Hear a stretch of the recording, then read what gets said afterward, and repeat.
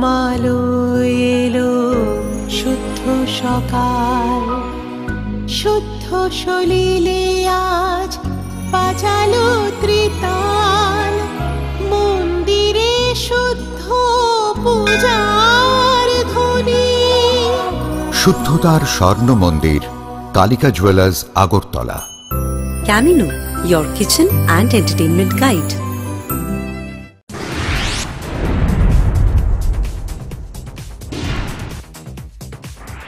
মাথার উপরে ছাদ পাবে ত্রিপুরায় প্রায় দেড় লক্ষ বাসিন্দা। প্রধানমন্ত্রী আবাস যোজনার প্রথম কিস্তিতে সাতশো কোটি টাকা ত্রিপুরাবাসীর অ্যাকাউন্টে পাঠাবেন প্রধানমন্ত্রী নরেন্দ্র মোদী।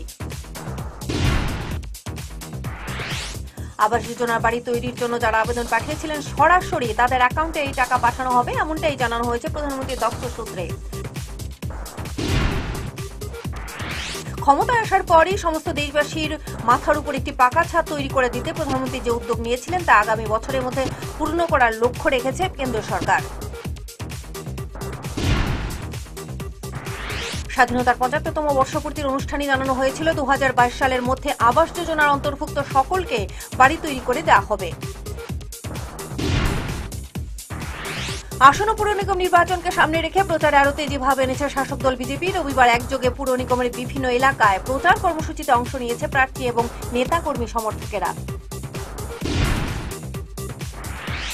এদিন কুড়ি নম্বর ওয়ার্ডের প্রার্থী রত্না দত্তের সমর্থনে প্রচারে যান কেন্দ্রীয় প্রতিমন্ত্রী প্রতিমা ভৌমিক। তিনি গণদেবতাদের কাছে আবেদন জানান বিজেপি দলের মনোনীত প্রার্থীদের বিপুল ভোটে জয়যুক্ত করার জন্য। এদিকে চোদ্দ নম্বর ওয়ার্ডের বিজেপি প্রার্থী স্নিগ্ধা দাস দেবের সমর্থনে প্রচারে বেরোলেন বিজেপি নেতা তাপস রায় সহ অন্যান্যরা। সেখানে বাম জমানায় দুর্নীতি স্বজন পোষণ এবং অকথ্য নির্যাতনের কথা তুলে ধরেন তাপসবাবু। রবিবারই তেতাল্লিশ নম্বর ওয়ার্ডের বিজেপি প্রার্থী মনিকা দাস দত্তের নেতৃত্বে প্রচার অভিযান চালানো হয়। ভোটারদেরকে আবেদন জানানো হয় বিজেপি প্রার্থীদের বিপুল ভোটে জয়যুক্ত করার জন্য। আসন্ন পুর ও নগর নির্বাচনের শাসক দল বিজেপি এবং প্রধান বিরোধী দল সিপিএম এর পাশাপাশি প্রচারে নেমে পড়েছে কংগ্রেস দলও রবিবার আগরতলা পুর নিগমের একুশ এবং বাইশ নম্বর ওয়ার্ডের ডোর টু ডোর কর্মসূচি পালন করেন কংগ্রেস প্রার্থীরা।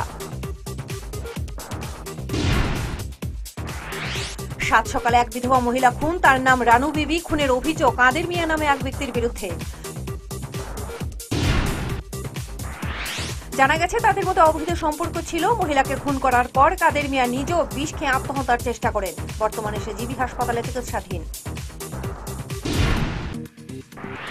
ঘটনাটি ঘটেছে মেলাগড় থানাধীন তেলকাজিলা বানিয়াছড়া বরটেপা পাঁচ নম্বর ওয়ার্ডের নাথেরটিলা এলাকায়। ঘটনা তদন্তে নেমেছে পুলিশ।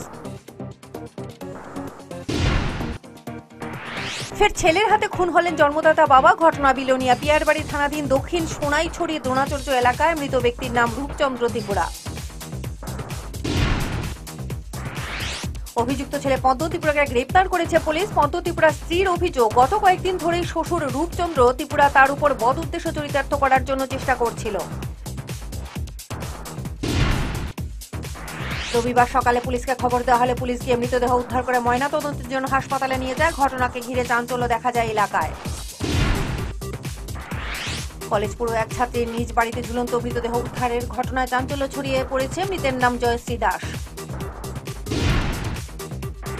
ঘটনা তেলিয়ামুড়া, ঘটনা গোড়াঙ্গডুল এলাকায় প্রণয় সংক্রান্ত ব্যাপারে এ ঘটনা হতে পারে বলে প্রাথমিকভাবে অনুমান। ঘটনা তদন্তে নেমেছে পুলিশ। ধর্ষণের শিকার হয়ে এক মহিলা গর্ভবতী হওয়ার ঘটনায় চাঞ্চল্য ছড়িয়ে পড়েছে উদয়পুর পূর্ব গোকুলনগর রবিদাস কলোনি এলাকায়। অভিযোগের তীর পার্শ্ববর্তী দুলাল মিয়া নামে এক ব্যক্তির বিরুদ্ধে।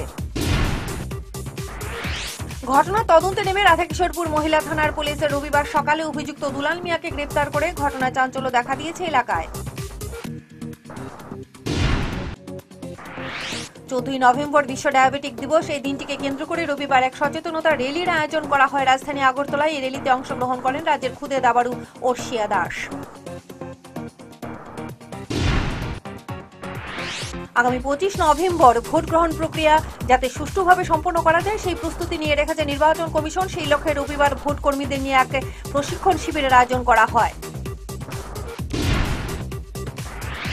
রাজধানী রবীন্দ্র শতবার্ষিকী ভবনে আয়োজিত এই প্রশিক্ষণ শিবিরে উপস্থিত ছিলেন নির্বাচনের রিটার্নিং অফিসার তথা মহকুমা শাসক অসীম সাহা সহ প্রশাসনিক আধিকারিকেরা। চোদ্দই নভেম্বর শিশু দিবস, পণ্ডিত জওহরলাল নেহরু জন্মদিন। রবিবার রাজধানীর মিউজিয়ামের সামনে থেকে এক র্যালির আয়োজন করা হয়।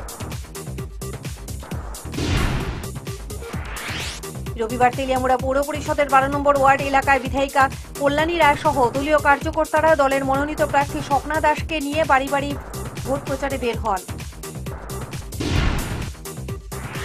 প্রচারে কোনো জায়গাতে যাতে খামতি না থেকে থাকে, সেই চেষ্টা চালিয়ে যাচ্ছে বিধায়িকা সহ দলের প্রার্থী। এদিকে এই ওয়ার্ড থেকে বিরোধীরা প্রার্থী দিলেও নির্বাচনী প্রচারে তেমন জৌলুস দেখাতে পারেনি রাজ্যের প্রধান বিরোধী দল সিপিআইএম।